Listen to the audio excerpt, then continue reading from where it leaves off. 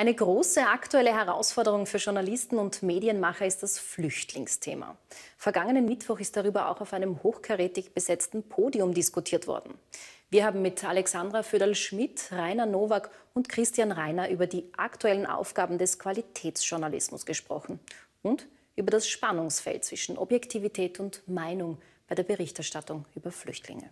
In einer einleitenden Keynote wies der Philosoph Konrad Paul Liesmann auf die Gefahr des zu viel Guten in der Berichterstattung über Flüchtlinge hin. Unter den Podiumsgästen gab es zum Thema Meinung und Journalismus angesichts der neuen gesellschaftlichen Herausforderungen durchaus differenzierte Ansichten. Ich glaube, Journalismus sollte sich generell ähm, nicht sozusagen äh, irgendeiner Sache auch nicht dem Guten verschreiben, so blöd das jetzt klingen mag. Äh, Journalismus sollte sozusagen einigermaßen neutral bleiben und äh, keiner Seite sozusagen zu oder keiner Position sozusagen ähm, den Raum in der normalen redaktionellen Berichterstattung geben. Dafür sind Kommentare da.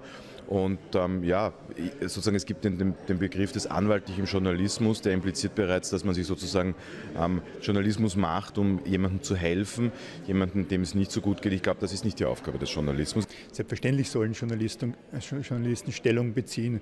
Äh, selbstverständlich sollen Journalisten Analysen aus Fakten äh, machen und dann daraus äh, Meinungen ziehen bzw. darauf Meinungen aufbauen. Wer behauptet, dass das anders wäre, scheitert schon in seiner Argumentation, wenn man eine Zeitung aufmacht und Fotos sieht. Ja, mit, nach welchen Kriterien äh, wählt man die Fotos denn aus? Man wählt sie zum Teil nach ästhetischen Kriterien, aber wohl meistens nach einer Message aus. Und die Message ist nicht nur das Faktum, die Message ist natürlich mehr. Wichtiger denn je ist die Trennung von Berichten und Kommentar. Das heißt, wir müssen unsere Rolle als Journalisten wahrnehmen und äh, auch Fakten checken. Und das Schwierige ist eben, dass wir nicht als Aktivisten agieren dürfen.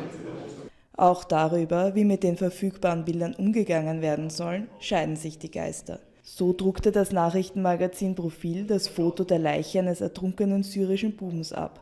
Eine Entscheidung, mit der sich derzeit der Presserat beschäftigt.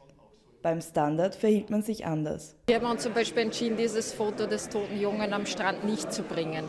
Wir haben einfach äh, die Berichterstattung dergestalt auch im Bildbereich äh, geregelt, dass wir sagen, Kinder äh, sind besonders schutzwürdig. Das entspricht auch der Mediengesetzgebung. Plus das Zweite, dass wir nicht Leichen in entstellten Situationen darstellen. Und das war eigentlich ein Bild, ähm, das diesen Kriterien entsprochen hat. Aus dem Grund haben wir uns wirklich auch bewusst entschieden, das nicht zu bringen. Bei der Kinderleiche ist das Kind als solches nicht identifizierbar. Als anonymes Kind sollte man das ein Bild dieser Art auf jeden Fall zeigen, weil es halt nicht einmal meinungsmachend äh, die Realität von Schicksalen innerhalb dieses Flüchtlingsstroms darstellt und darstellen muss. Die Herausforderungen für den Qualitätsjournalismus sind jedenfalls größer denn je.